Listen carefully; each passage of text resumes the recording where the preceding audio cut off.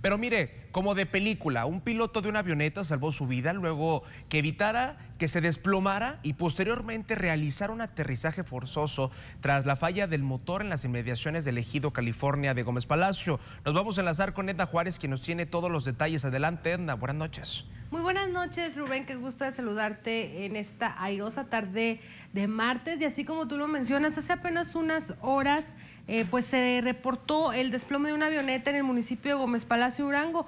Y es que fue minutos después de las 3.15 de la tarde que los pobladores del Equido, California, dieron aviso a las autoridades a través del número de emergencias 911 sobre la caída de una avioneta muy cerca de los sembradíos de maíz, justo antes de llegar al establo Gema. Según los primeros informes, el piloto identificado como Jesús Fernando Acosta tuvo que realizar un aterrizaje forzoso luego de que la avioneta comenzara a perder altitud por una presunta falla mecánica.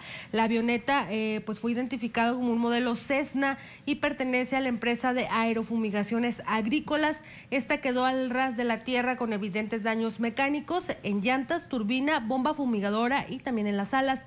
Por fortuna, el piloto resultó ileso y no fue necesario trasladarlo a algún eh, nosocomio para su atención médica especializada. Al lugar acudieron los elementos de la Dirección de Protección Civil y Bomberos de Gómez Palacio, los paramédicos de la Cruz Roja de la Delegación de Gómez Palacio, la Policía Municipal, la Policía Estatal y la Guardia Nacional. Un incidente que no pasó a mayores, solamente daños materiales y obviamente pues el susto tanto de los pobladores como de esta persona que se encontraba realizando su trabajo eh, fumigando las parcelas que se encuentran por ahí, Rubén.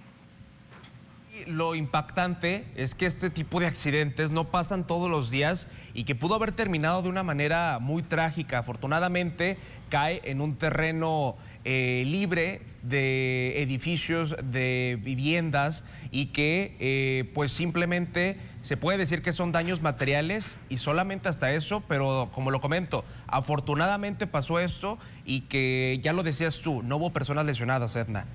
Así es, Rubén, por fortuna no hay personas lesionadas, incluso el piloto, esta persona eh, que se identificó como Jesús Fernando, tampoco presentó alguna lesión y él mismo este, pues se quedó con las autoridades que estaban haciendo el peritaje para al final determinar qué fue lo que ocasionó eh, pues que esta avioneta haya perdido altitud y pues haya tenido un aterrizaje forzoso la tarde de este martes. Oye, Edna, yo sé que está además la pregunta, pero ¿se reporta la avioneta como eh, pérdida total o eh, puede haber algo que pueda, pues, que pueda funcionar de nuevo, Edna? Sí, lo, esos, el informe pericial aún no lo liberan, pero lo más probable es que sea pérdida total, Rubén, como podemos ver en las imágenes que estamos viendo en las pantallas, pues sí está muy dañada, sobre todo al frente, este, la turbina, alguna hélice, las alas, las llantas, será yo creo que muy costoso poder reparar esta avioneta. Claro, Edna, pues bueno, este es el reporte que nos acaba de presentar Edna Juárez, a quien le agradecemos. Edna, que tengas una excelente noche y gracias por la información, Edna. Igualmente, Rubén, muy buenas noches. Buenas noches, Edna.